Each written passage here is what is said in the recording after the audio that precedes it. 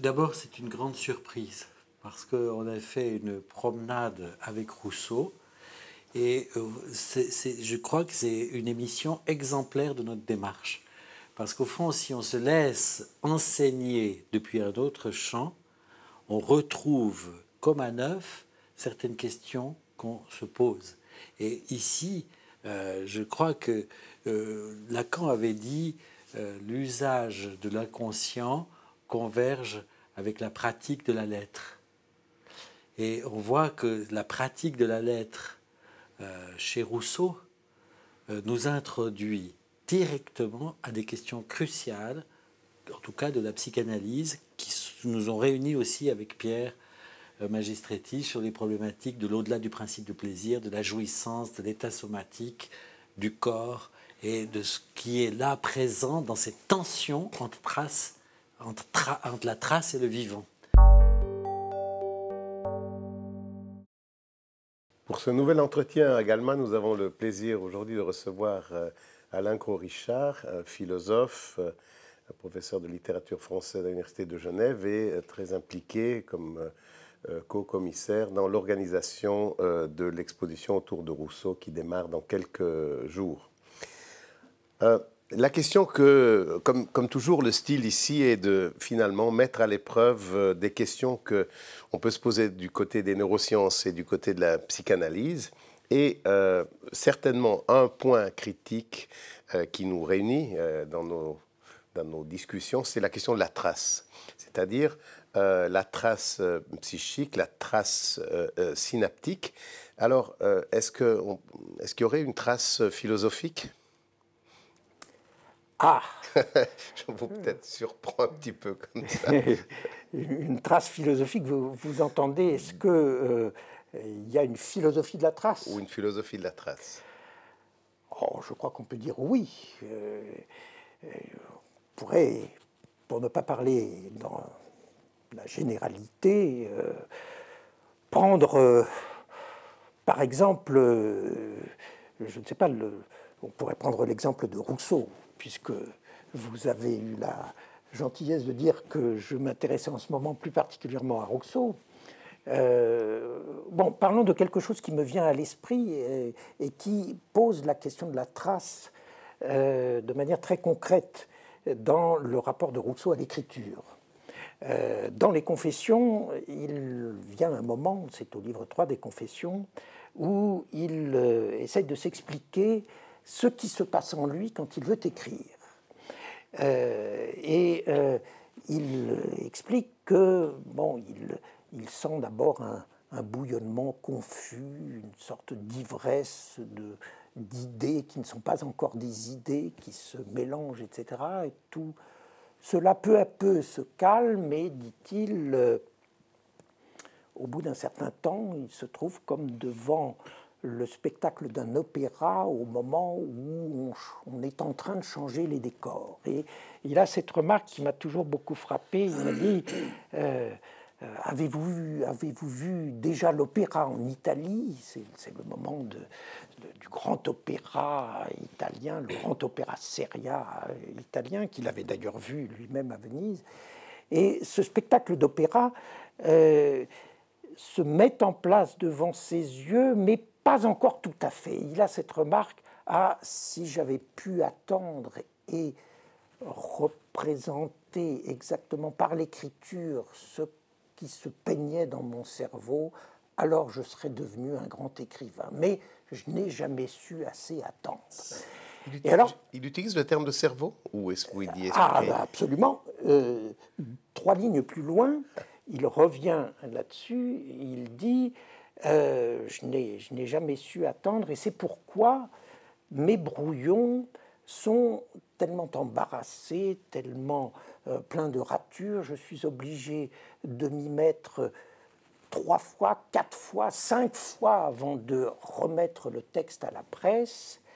Et il ajoute à ce moment-là, euh, d'ailleurs, je n'ai jamais pu vraiment écrire noir sur blanc sur du papier euh, assis devant une table, il faut que je sois dehors, que je sois à la promenade. Et il a cette formule, euh, j'écris dans mon cerveau. Ça commence à s'écrire dans mon cerveau. Et ensuite, mon problème, c'est de transcrire ce qui s'est écrit dans mon cerveau sur du papier.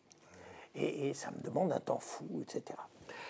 Euh, c'est-à-dire qu'il il le voit, alors c'est visuel. le, processus, il le décrit euh, comme soumis au regard. Enfin, je me souviens que euh, Mozart dans, énonçait que lui voyait aussi ce qu'il allait composer déjà écrit et qu'il devait saisir extrêmement vite, sans presque en avoir le temps, ce qui était déjà écrit on ne peut pas dire qu'il il voyait que c'était écrit. Il euh, y a, d'autres passages de l'œuvre de Rousseau où il euh, y a de, l'écrit qui, qui, se voit euh, comme ça dans une sorte de représentation cérébrale. Mais là, c'est plutôt quelque chose apparaît sur une scène.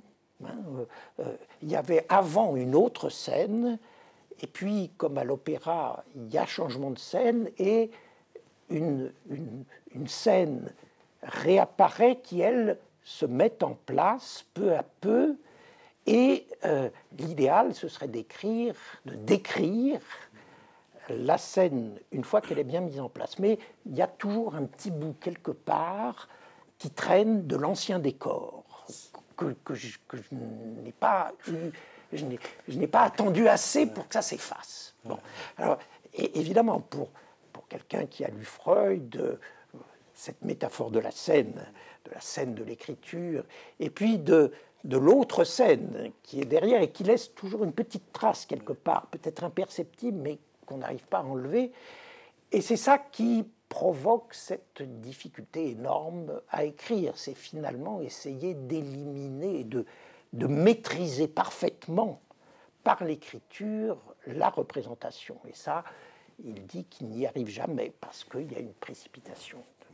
Personnellement, ça me fait, je suis vraiment très frappé par cette remarque de la difficulté de passer de, cette image à l'écriture, euh, euh, parce que ça me fait penser à quelque chose qu'on a beaucoup euh, discuté, c'est la question de la synchronie et de la diachronie.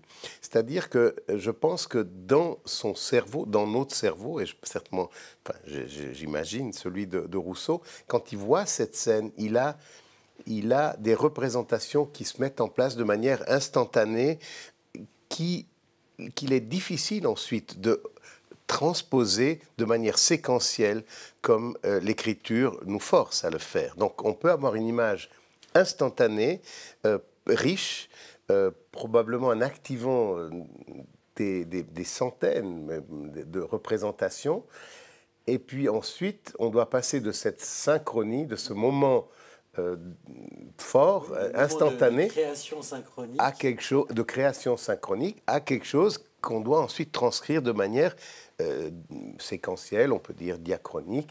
Et, je pense que, que c'est un frein énorme. Enfin, en tout cas, c'est quelque chose auquel, euh, voilà, c'est une contrainte neurobiologique presque quelque part entre la synchronie et la diachronie dans la possibilité de rendre une représentation. Je ne sais pas si ça évoque quelque chose, mais en tout cas, moi, ce, frein, ce problème. C'est un thème qu'on a beaucoup, c'est-à-dire qu'il y a quelque chose comme un surgissement.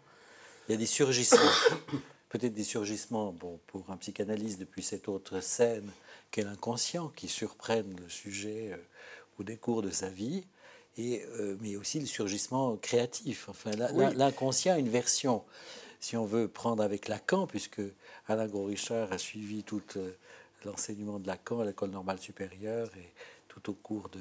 C'est-à-dire, on pourrait se dire, il y a un inconscient automatone, un inconscient système de traces, un inconscient déjà là, un inconscient euh, déjà inscrit, et puis il y a l'inconscient tuqué qui est l'inconscient coupure, l'inconscient discontinuité, tourné vers l'avenir, euh, un inconscient euh, du non réalisé et que c'est ce jeu entre ce qui est inscrit et ce qui se réinscrit à partir du non réalisé, à partir de la discontinuité, euh, qui, est, pour nous le processus de créativité, enfin, qui est très important aussi dans les modèles de réassociation de traces.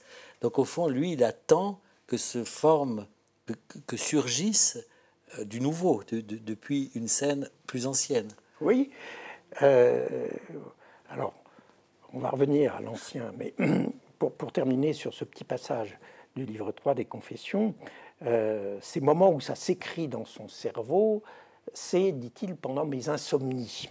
C'est pendant mes insomnies que ça s'écrit dans mon cerveau. Euh, et alors, il y, a, différentes techniques au réveil. Euh, il, appelle la, mère de sa compagne, Thérèse Levasseur, qui vient au réveil pour prendre en note le récit qu'il va lui faire de ce qui s'est écrit dans son cerveau. Euh, mais là aussi, ça pose d'énormes difficultés parce qu'il y a de nouveaux trous qui, apparaissent. Il n'a pas suffisamment de mémoire. Il a oublié l'essentiel. Bien. Mais puisque on, en est à ces moments de, de, saisissement qu'il s'agit ensuite de transformer en discours, euh, euh, bon, tout le monde sait que le moment qui a été le moment de de rupture qui a coupé en deux la vie de Rousseau, lui-même le dit, il le qualifie de moment fatal ou de moment bienheureux, c'est le moment qui a fait de lui euh, un auteur, qui l'a propulsé sur la scène euh, de, la République des Lettres, euh, c'est la fameuse illumination de Vincennes. je la rappelle en deux mots parce que ça donne à réfléchir au-delà de, Rousseau lui-même. Donc, il, son, cher ami Diderot est enfermé à Vincennes pour avoir publié un texte philosophique majeur où il est question de traces aussi. La, lettre sur les aveugles à l'usage de ceux qui y voient en 1749. Autrement dit, ceux, ceux qui voient vraiment, ce sont les aveugles et ce sont les voyants qui sont aveugles. Enfin, tout un paradoxe extrêmement brillant et, profond. Euh, bon, Diderot est emprisonné, Rousseau l'apprend, euh, il, est, bouleversé, euh, et puis il va aller le voir régulièrement, il prend la route de Vincennes, il marche pour aller voir Diderot qui est enfermé dans ce donjon de Vincennes. Et puis un jour d'octobre, il y va, il a emporté pour lire pendant la marche un numéro du Mercure de France, dans lequel et poser une question mise au concours est-ce que le progrès des sciences et des arts a contribué ou non à euh, épurer les mœurs? Et tout d'un coup, dit-il, j'ai eu une illumination, euh, au point que j'en suis tombé évanoui au pied d'un arbre et j'ai pris en note dans une demi-hallucination.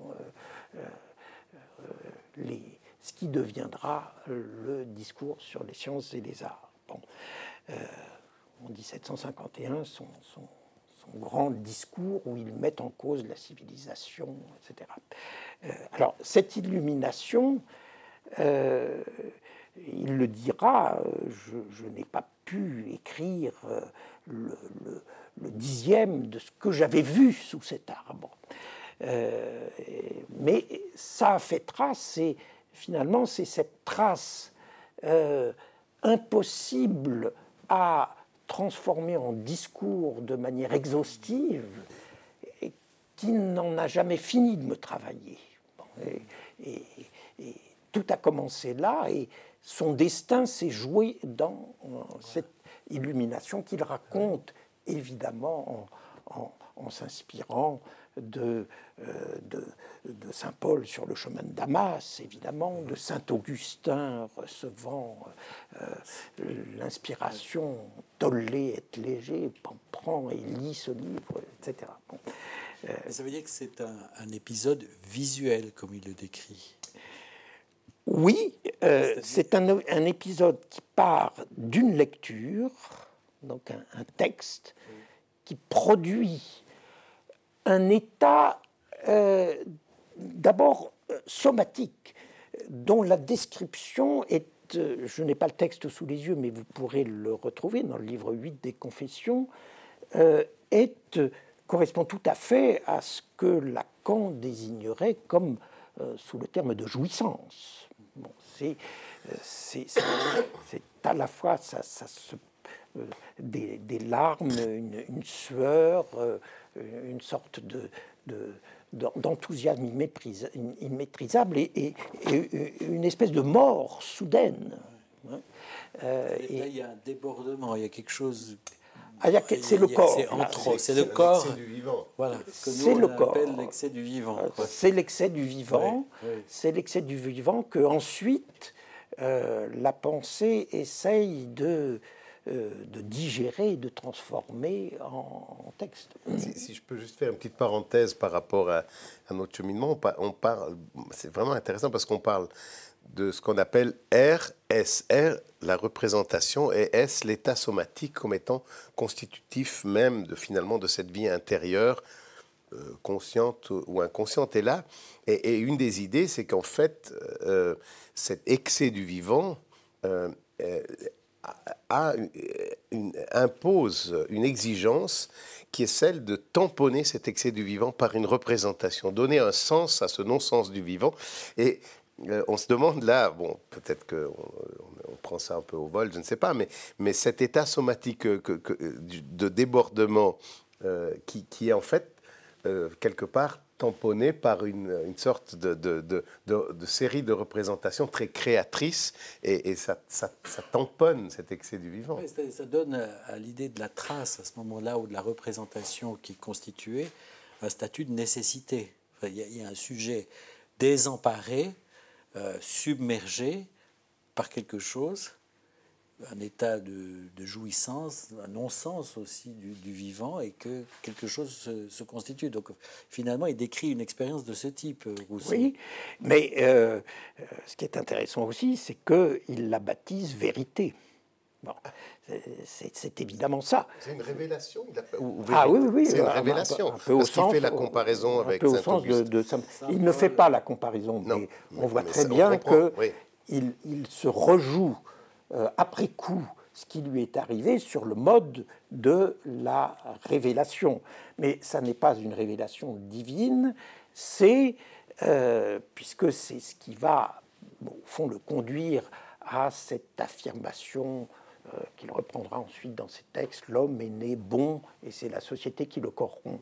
Donc c'est en quelque sorte comme si la vérité de l'homme en lui, dans sa vérité pure nature, venait faire irruption chez un sujet qui est euh, tout entier euh, pris, euh, je dirais, dans le symbolique, dans l'ordre du symbolique qu'est la civilisation de son temps. C'est-à-dire les sciences et les arts, on pourrait les réduire à cet ordre symbolique qui est venu s'imposer à une nature qui, originaire, était euh, celle d'un homme sans langage. Hein. L'homme, l'homme à l'état de pure nature, pour Rousseau, est un homme qui n'a pas inventé le langage. Et l'invention du langage euh, ira de pair avec le début euh, du malaise dans la civilisation. là, ah il, sent très bien comment... Le langage est un parasite, finalement, dans sa conception, euh, euh, comme a pu le dire euh, Lacan pour d'autres. il, est, oui, il est parasité par un langage qui, par lui-même, amène le, malaise que oui, les humains oui. À, à, partir du moment où on est obligé de se servir des mots pour dire ce qui est de l'ordre du désir et de la jouissance, on a perdu la jouissance. Je veux dire, le, mot là est fatal. Euh, il y a un, très joli exemple euh, dans, un autre texte qui s'appelle euh, La lettre à d'Alembert sur les spectacles. Rousseau critique radicalement l'intention de, ce mauvais Voltaire d'établir un théâtre à Genève. il y a une, critique du théâtre. C'est l'occasion aussi pour lui de, de réfléchir sur l'amour. Et à un moment, il, donne cet exemple. Il dit euh, c'est la, question de comment dire je vous aime. Il dit euh, l'amour est une, le vrai amour est une passion tellement forte qui vous saisit à ce point le corps que euh, se mettre à dire je vous aime, euh, c'est finalement mentir. il dit un, un, véritable amant qui, devant son, son amante, lui dirait, romprait le silence pour lui dire je vous aime, recevrait ou devrait recevoir un soufflet de la part de son amante qui lui répondrait Je vous ai compris, vous ne m'aimez plus.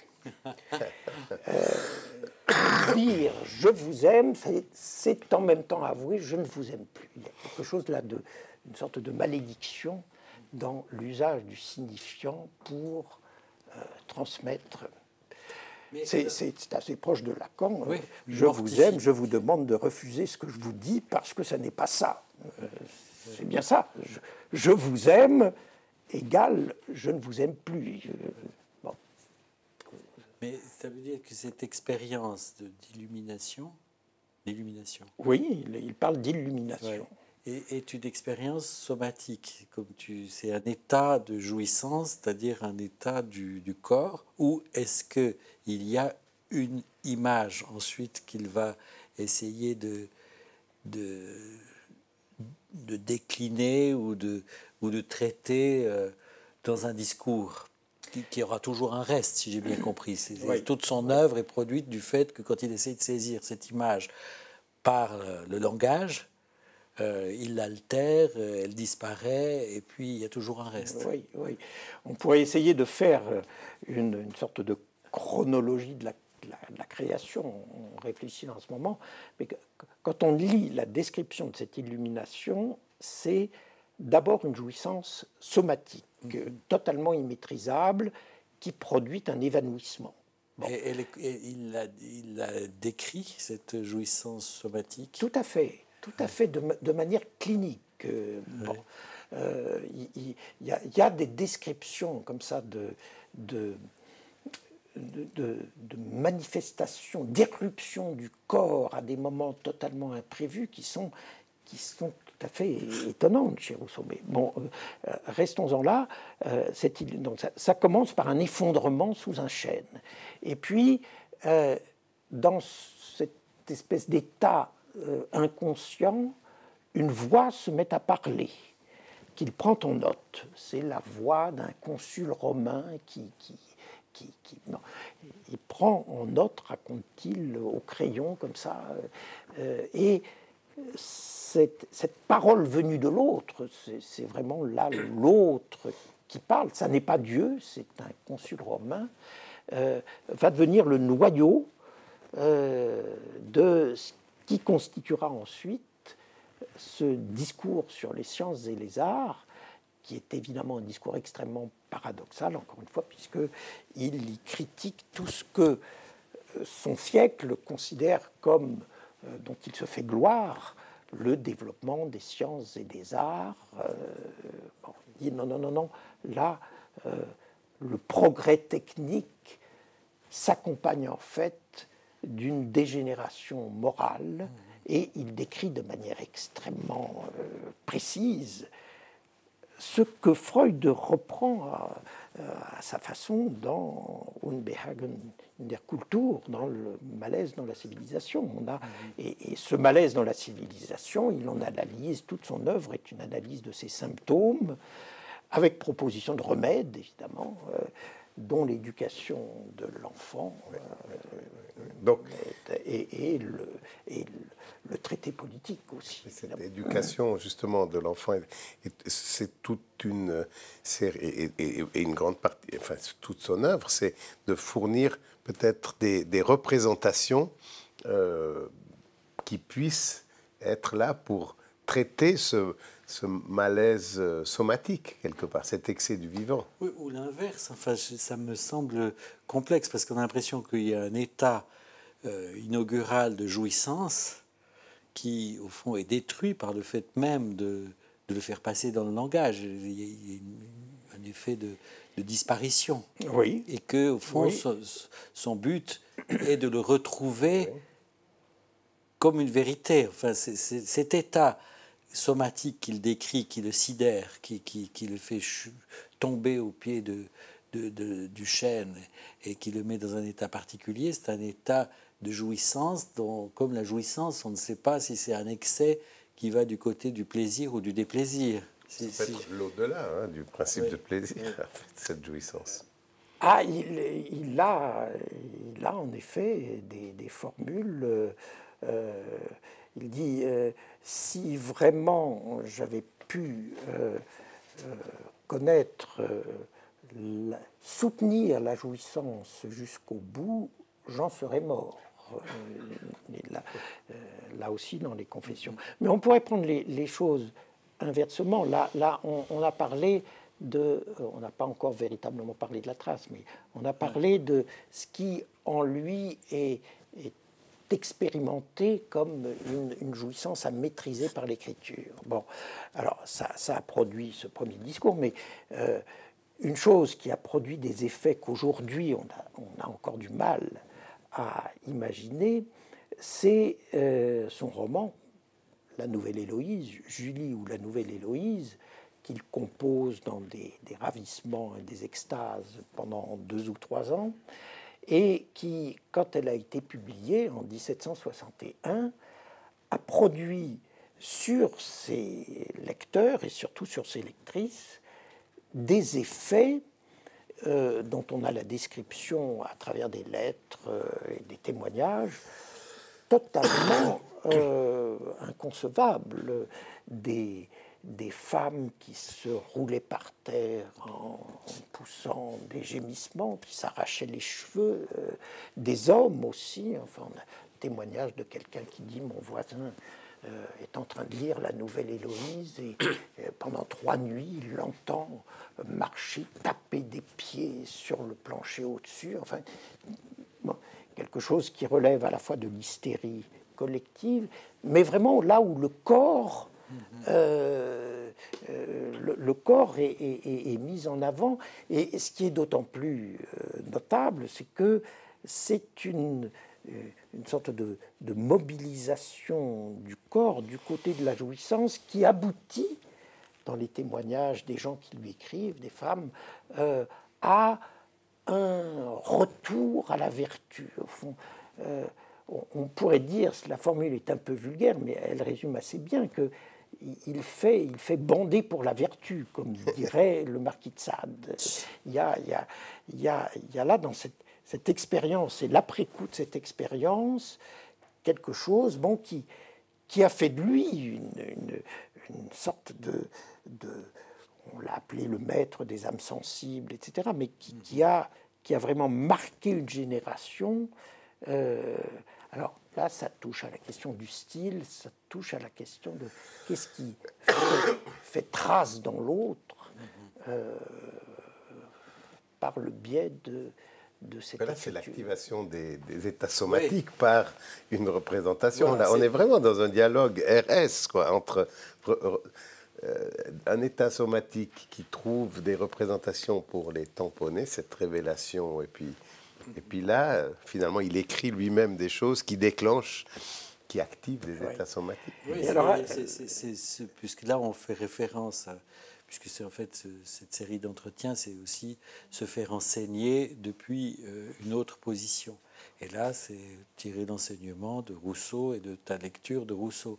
Et qu'on débouche, enfin, on est parti sur la trace, mais on débouche plutôt sur l'état somatique, comme tu l'appelles toi-même, enfin, qui est central dans notre questionnement. Et là, on a l'impression qu'il a lui-même l'art de redéclencher chez lui ou chez l'autre euh, des états somatiques tout à fait particuliers.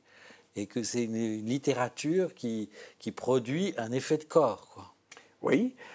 Alors, pour, pour terminer euh, là-dessus, il y a, euh, disons, le dernier moment, un, de ces textes les plus extraordinaires, dont, dont d'ailleurs on va montrer dans l'exposition le manuscrit. C'était très beau de voir le, manuscrit des rêveries du promeneur solitaire qu'on lit. C'est un texte d'une beauté stylistique euh, reconnue par, tout le monde et qui paraît très simple. Quand on regarde le brouillon, le brouillon en tout cas de certaines de ces rêveries. où il disait qu'il y avait tellement de ratures. Euh, oui, c'est un des brouillons où, par exemple dans, les dernières promenades qui est, qui est euh, vraiment raturé, etc., où cherche le mot juste, etc. Mais euh, ces rêveries du promeneur solitaire, il les écrit, donc c'est, on ne va pas parler de paranoïa, mais c'est, disons, un retour à une espèce de solitude totale, euh, un calme absolu, et il dit, bon, ben maintenant, c'est terminé, les hommes, pour moi, n'existent plus, ou ils sont ce sont des hommes à la 6-4-2, enfin, euh, tout à fait genre euh, humanité schréberienne. Et il dit Bon, ben, je, je, suis seul et la question qui me reste à me poser, c'est qui suis-je, moi? Et donc, il va se se mettre à réfléchir sur lui-même avec cette, cette métaphore qui doit plaire à, un scientifique. J'appliquerai le baromètre à mon âme. Donc euh, une sorte de, de visée, euh, disons, de type euh, un peu scientifique sur ce qui se passe en lui. Mesurer un peu son état. Exactement. J'appliquerai le baromètre à mon âme. Il avait d'ailleurs un, un, projet de, de qu'il appelait euh, sa morale sensitive ou le matérialisme du sage, qui était une réflexion sur la manière dont les sensations nous déterminent et comme le corps est immaîtrisable, essayer de trouver la technique pour avec de la sensation, bon, réussir bien euh, à, maîtriser ce, cette puissance du corps. Et euh, donc cette ultime écriture, il dit, c'est une écriture pour moi. J'écris pour moi, pour enregistrer mes jouissances, le mot jouissance est très présent, ou mes souvenirs de jouissance. Donc je vais les mettre noir sur blanc, euh, je vais les écrire. Chaque fois que je les relirai, je cite, chaque fois que je les relirai me rendra la jouissance. Donc c'est véritablement là une une écriture qui a pour finalité de perpétuer une jouissance qui disparaîtrait, etc. De la perpétuer et en même temps de la, euh, de la maîtriser, puisqu'elle est écrite c'est une autoconsommation qui, qui, ne dérivera pas dans une folie, euh, euh, une aliénation où on, est complètement victime du corps. Et c'est, je crois, cette, euh, ce rapport à la jouissance qui donne la beauté à cette écriture. c'est, un système de traces, d'écriture qui à la fois conserve la jouissance et la maîtrise. Enfin, il n'y a pas une contradiction entre le fait de la conserver et de la maîtriser. Non, c'est cette espèce, oui, en effet, d'équilibre euh, euh, qu'il compare d'ailleurs et qu'on peut comparer. Jean Starobinski euh, l'a fait de manière très, très juste. C'est l'époque où aussi il est repris de sa passion pour la botanique. Il ne faut pas oublier que, que y a chez Rousseau une fibre de savant à prendre tout à fait au sérieux. il est passionné par la botanique, la classification botanique. Il est fasciné notamment par le système linéen de classification euh, sexuelle des, plantes. Le, côté euh, sexuel et le côté euh, pervers polymorphe de la sexualité des plantes le fascine et, le fascine d'autant plus que c'est une sexualité perverse, polymorphe, totalement innocente. Bon. Alors il y a des hermaphrodites, des bandes. Et il, il, a donc à cette époque-là aussi une, une, pratique de l'herbier, c'est-à-dire euh, prendre l'objet, le coller sur un papier et feuilleter ces objets auxquels il donne des noms, c'est aussi une, de ses grandes jouissances de nommer, de, trouver le vrai nom. Euh, et son herbier est au fond à mettre en parallèle avec ses rêveries elles-mêmes. Au fond, euh, c'est une sorte de d'herbier de jouissance que sont ses rêveries. Je, pourrais juste faire une remarque parce que le terme de, jouissance, c'est un terme euh, intense, complexe, et, et, par, parce que, bon, je parle à la place du psychanalyste, mais dans, le, dans, dans l'idée de jouissance, notamment chez Lacan, il y a cette, ce nouage entre justement plaisir, mais aussi euh, au-delà du principe de plaisir, voire même que cette recherche de la jouissance amène à une compulsion de, répétition, de, répéter pour avoir, euh, certes, peut-être du plaisir, mais en même temps, euh, c'est noué avec le déplaisir. Donc je me disais, pour, est-ce que, vu que le terme jouissance est, venu plusieurs fois dans le contexte de Rousseau, je me demandais, alors ça c'est vraiment mon ignorance, euh, est-ce qu'il y a déjà une intuition de quelque chose qui, qui serait un peu bicéphale dans le terme jouissance ou c'est seulement du plaisir? Euh, Je crois que la, manière de bien prendre les choses pour Rousseau, mais en même temps plus largement, c'est que Rousseau tient à distinguer, presque en termes juridiques, euh, la jouissance et la possession. Euh, je peux jouir d'une chose sans la posséder. Euh, posséder suppose le passage par, appelons ça le symbolique, c'est-à-dire je ne suis propriétaire, enfin plutôt jouissance et propriété. Bon.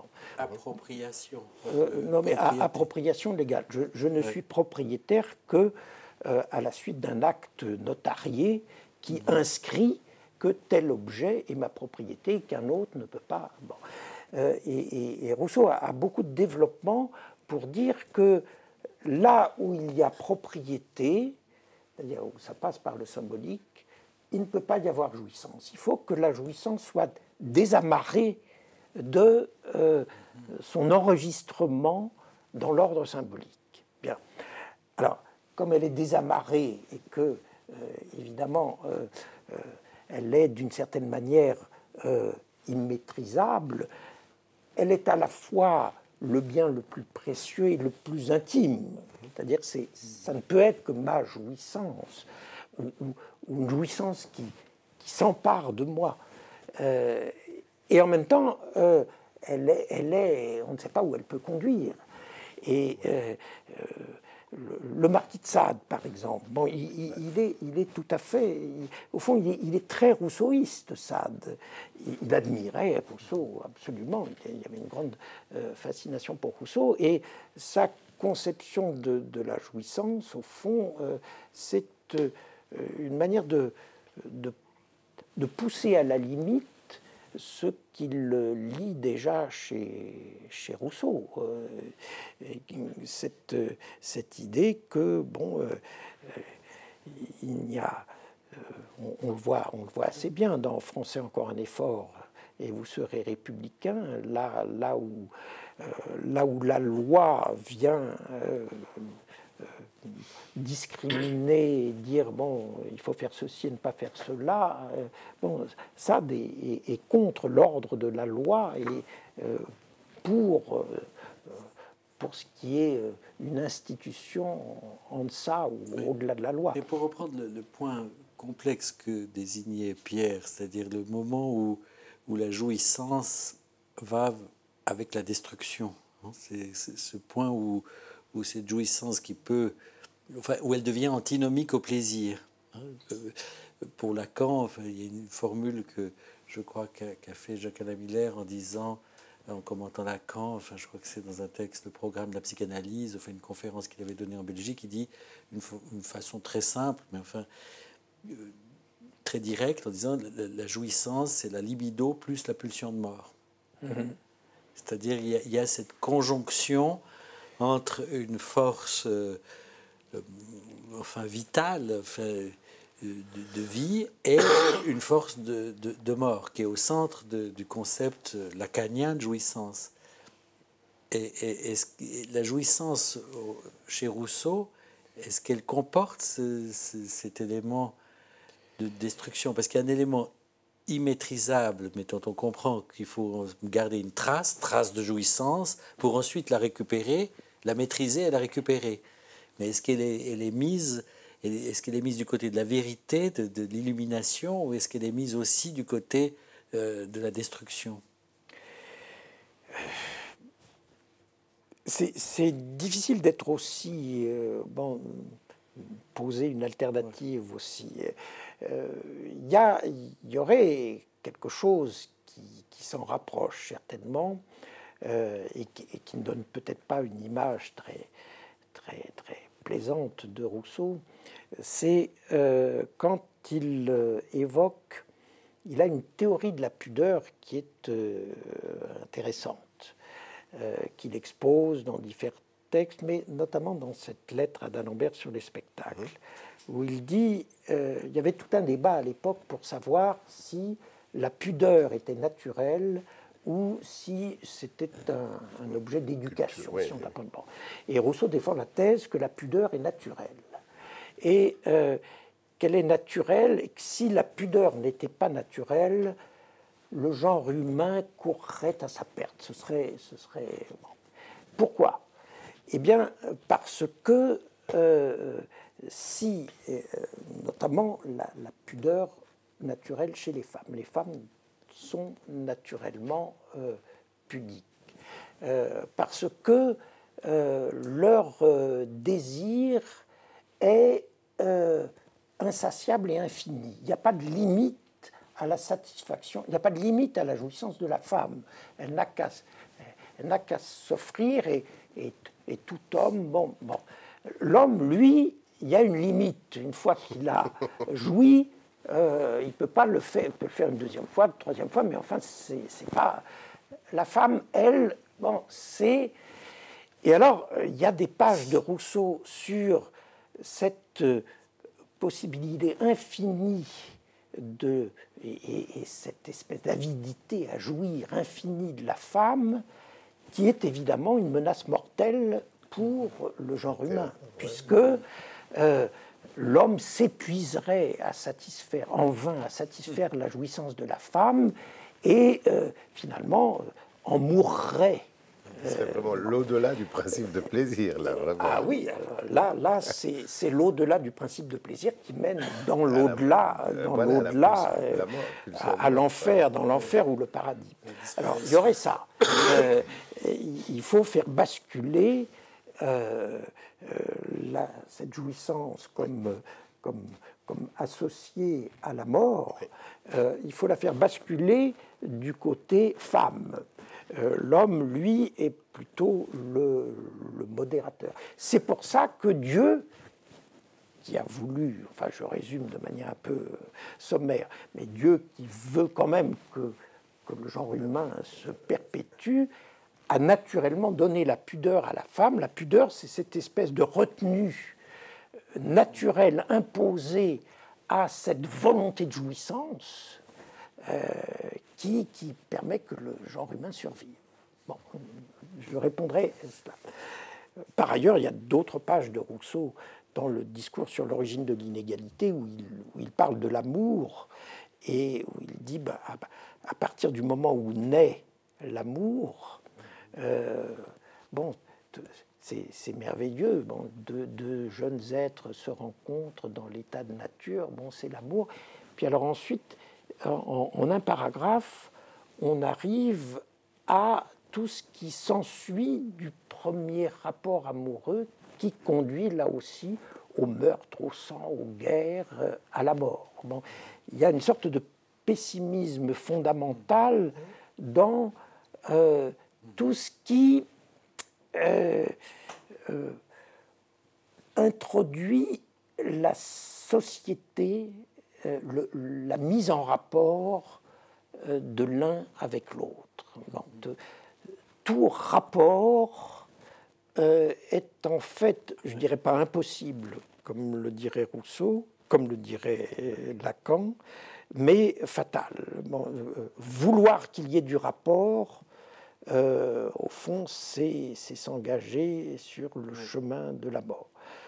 Sauf si, évidemment, alors là on peut objecter que le contrat social est une doctrine du rapport euh, démocratique, enfin, euh, qui, qui euh, permet de retrouver une sorte d'équivalent du bonheur de l'état de nature et de la liberté de l'état de nature.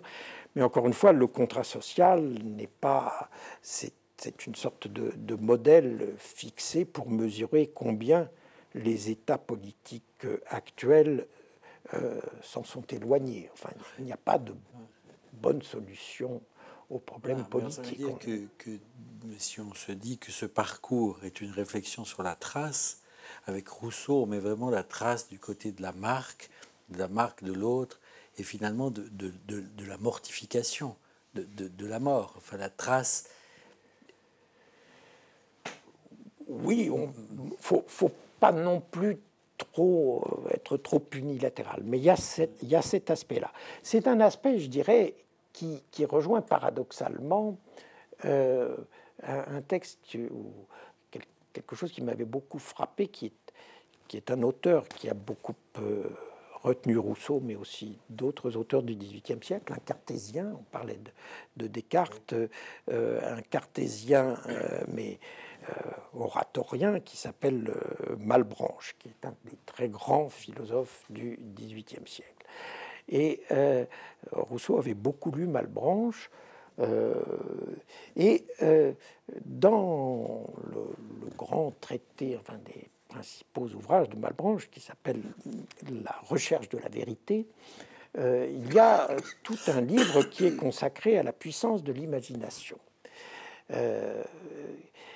que Malbranche considère comme une faculté du corps. c'est les esprits animaux, qui, des petites molécules qui circulent comme ça. Bien je, dis ça parce que j'aimerais en, parler avec vous, qui, et avec toi. Euh, il explique que, euh, la puissance de l'imagination peut être telle que euh, c'est par elle qu'on peut fabriquer, expliquer l'apparition des monstres dans le monde.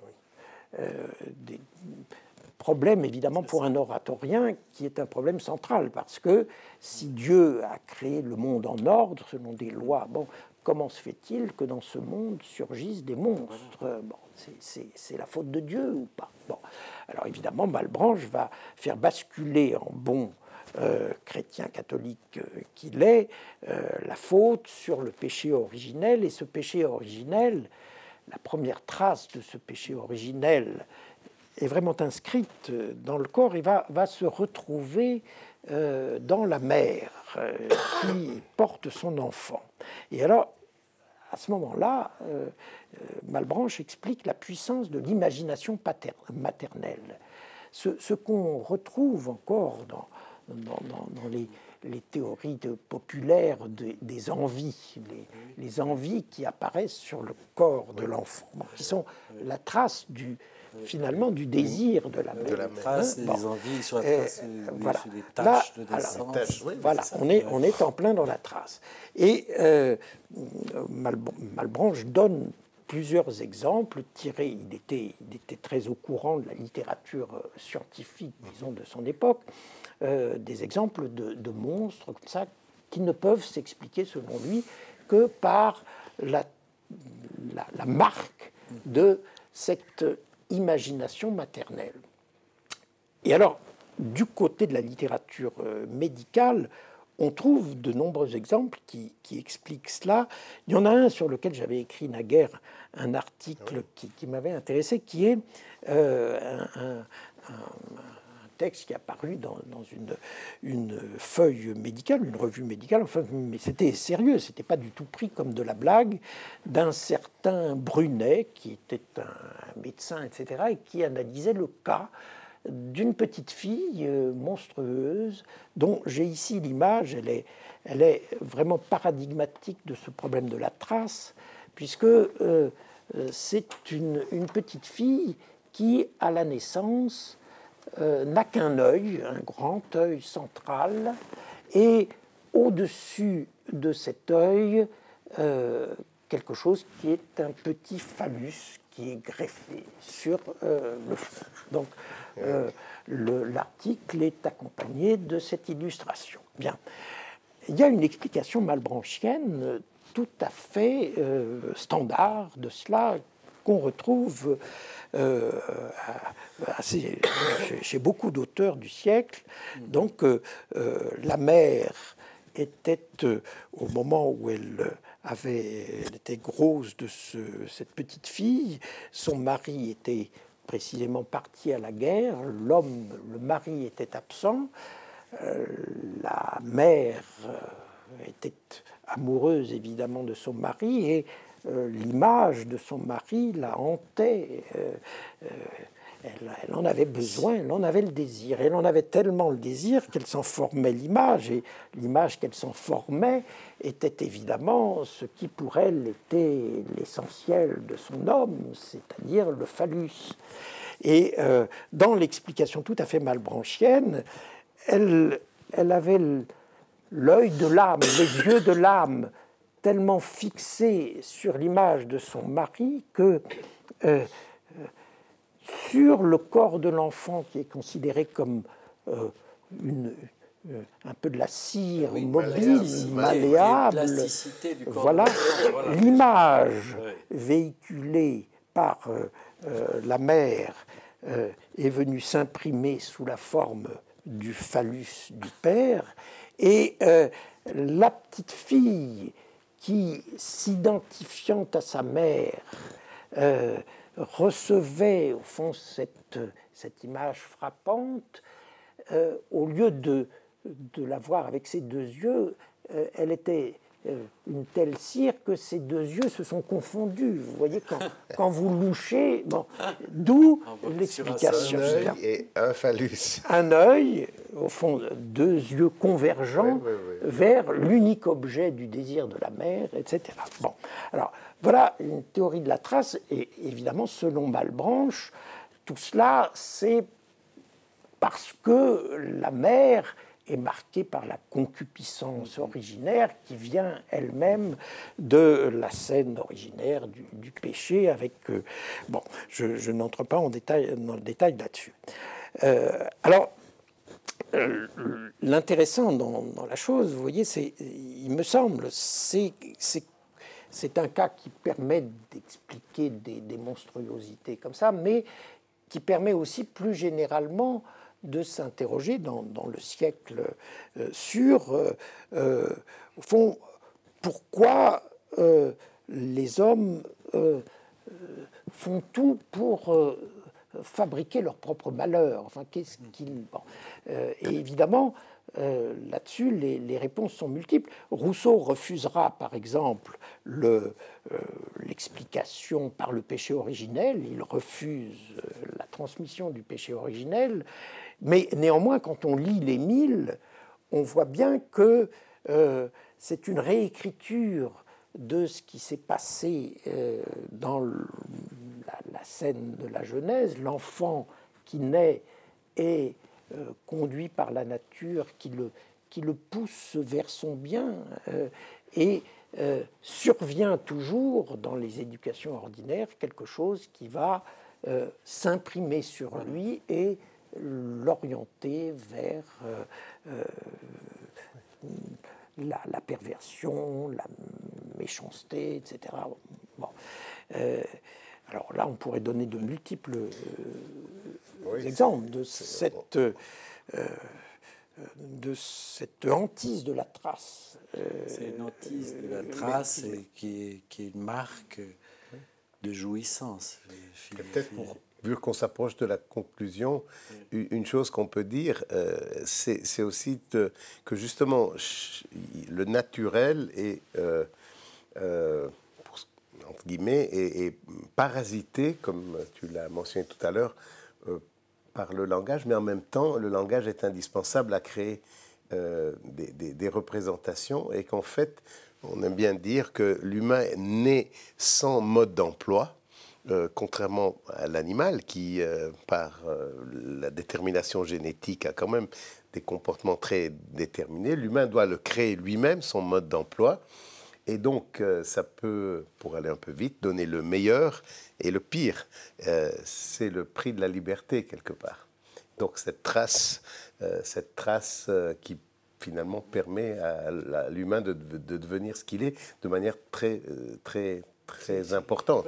Ça, c'est tout à fait rousseauiste. Hein. Quand vous lisez le discours sur l'origine de l'inégalité, l'homme à l'état de pure nature, c'est vraiment l'homme sans qualité, c'est l'homme sans mode d'emploi, et c'est l'homme libre. L'homme libre, pourquoi? Parce que il est inférieur aux animaux. Rousseau dit, mais les, les animaux, eux, ils n'ont pas de problème, ils ont l'instinct, ils savent exactement quel est l'objet, quel est leur bon objet. ça veut dire que la trace, à ce moment-là, elle est à la fois salvatrice, salvatrice et destructrice. Oui, oui. Euh, c'est parce qu'il est moins qu'un animal, il lui, il lui manque l'instinct, qu'il est obligé d'en appeler à ce que Rousseau appelle ses facultés virtuelles, qui malheureusement euh, bon, qui, vont faire de lui le supérieur de l'animal, euh, puisqu'il est obligé de suppléer à l'instinct qui lui manque, mais euh, ses facultés virtuelles, l'intelligence, la raison, etc., vont, en se développant,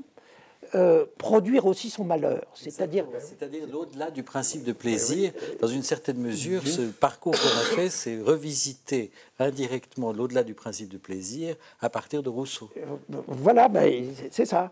Euh, l'homme, pour développer ses facultés, va, va se mettre en société, et en se mettant en société, ça va être ça va aboutir à la guerre de tous contre tous et bon, à, à, un état pire que euh,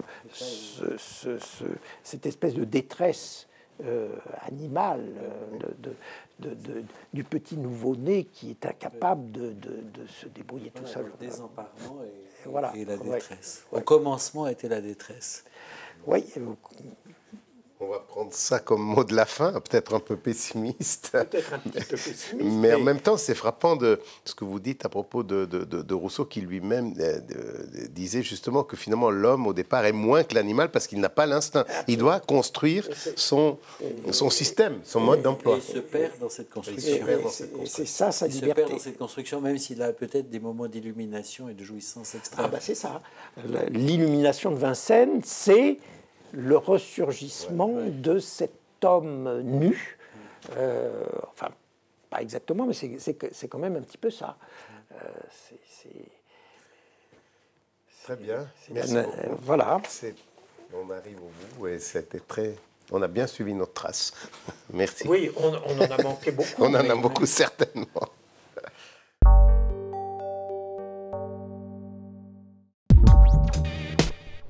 C'est un discours sur le vivant qui, nous a été euh, transmis par euh, la lecture qu'Alain Richard fait de, Rousseau.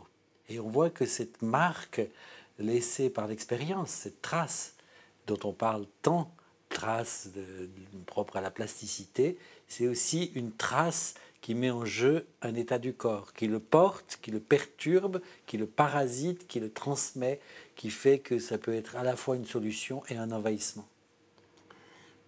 Absolument. Donc, ce que je, évidemment, je partage euh, ce, moment d'étonnement et, surtout de, se dire que finalement, en partant de, euh, points de, départ complètement différents, euh, cette constatation, je veux dire François et moi, et à cette idée que l'homme naît sans mode d'emploi, quelque chose que nous avions trouvé euh, intelligent. On a dit, tiens, voilà, l'homme naît sans mode d'emploi, il doit donc se construire au travers des mécanismes de plasticité, se construire son mode d'emploi, ce qui va lui donner la possibilité d'inventer des choses formidables, mais aussi son propre malheur.